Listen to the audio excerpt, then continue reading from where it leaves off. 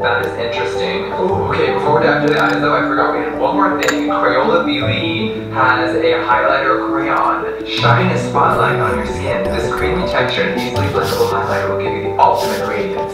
Girl, let's see about that. Alright, so this is what it looks like. Oh wow, it looks very like something Pat McGrath did, to be really honest here. Okay, let's see what this looks like here.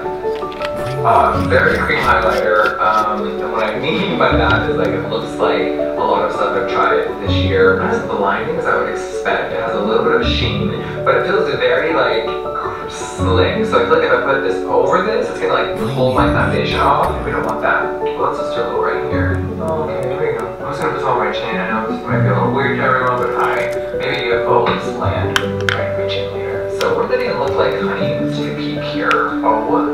God.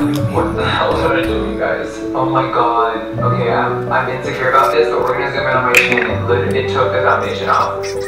Oh. Uh-huh.